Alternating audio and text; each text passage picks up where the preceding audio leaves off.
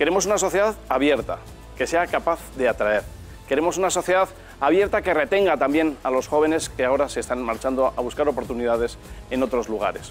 Y lo queremos hacer con la forma en la que los vascos lo hemos sabido hacer siempre y hemos tenido éxito, con el trabajo, con el esfuerzo, recuperando la cultura del empresario, la cultura de la responsabilidad con nuestra tierra, con nuestra familia, con nuestro proyecto de vida.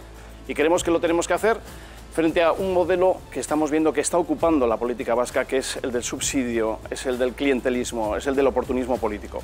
Por eso pido el voto para el Partido Popular, para abrir una etapa en la cual la centralidad nos lleve a recuperar las posiciones que nunca debíamos de haber perdido.